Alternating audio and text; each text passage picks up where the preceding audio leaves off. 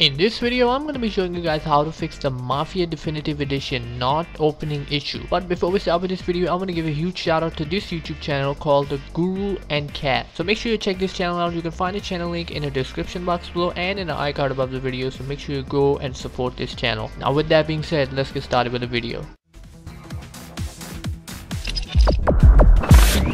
g2a.com.